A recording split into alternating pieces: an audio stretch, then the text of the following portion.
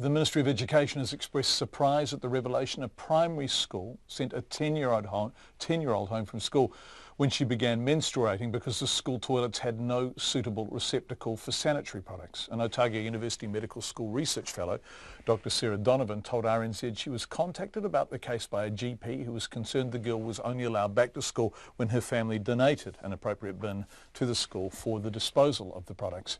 She said the girl had been menstruating for a few months now but was still choosing to stay at home sometimes because of the stigma of having been excluded from school. Anne-Marie May sought comment on the case and filed this report. In a statement, Katrina Casey from the Education Ministry said if the incident did happen as reported, it is not a very caring way for the school to respond, nor is it sensible. She says most teachers and principals are very understanding of the health needs of their students and the ministry is confident that most, if not all, when faced with a young girl beginning menstruation, would simply organise a sanitary product disposal unit for the girls' toilets.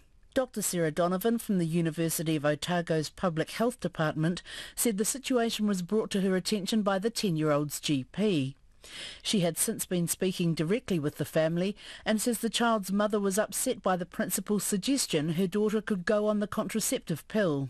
She was pretty distraught because being 10, that's pretty young to get your period anyway, and she was just kind of coping with the self-management of that, and then had the kind of added level of stigma of, of being um, excluded from school. Whangaparaoa College students Melanie Wilcock and Rebecca Jacobs have organised a petition asking the government to remove GST from sanitary products. Melanie said she was appalled that a school would send a 10-year-old home while she has her period and says it's not fair that a natural process should affect a child's education. I think she'd feel quite embarrassed because some girls take it as a, oh, I'm a woman now and that sort of stuff. But if she's just been sent home for something that she can't control. I mean, I know it's not the school's fault and they probably were a bit shocked, but they should have dealt with it better.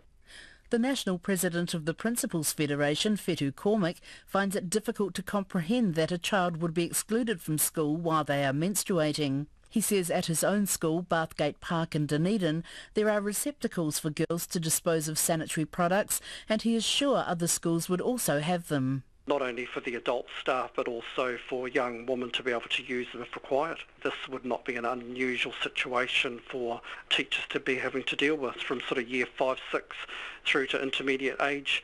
Definitely those schools would have processes in place to support the young woman. The head of the School Trustees Association, Lorraine Kerr, says no school has ever contacted her association with problems associated with a student beginning menstruation. She says when a young girl began having periods at a primary school she was involved with, the situation was handled very easily. We just went down to the local dairy, got a supply of sanitary products, talked to her, explained to her, phoned her parents, suggested she use the staff toilets as opposed to the school toilet to take away the stigma.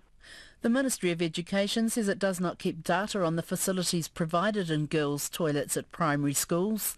It says schools make their own decisions about what is available based on the needs of their students and the majority do a very good job. For Checkpoint, Anne-Marie May.